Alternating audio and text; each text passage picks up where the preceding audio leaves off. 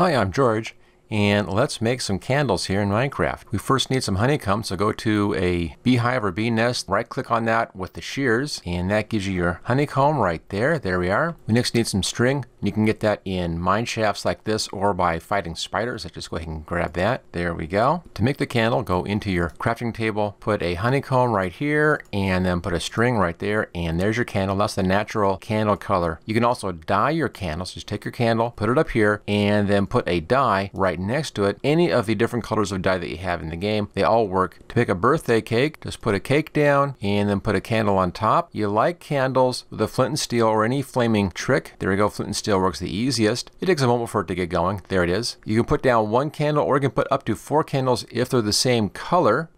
One, two, three, four. There we go. And then light that with the flint and steel. So there it is. That's how to make candles here inside of Minecraft.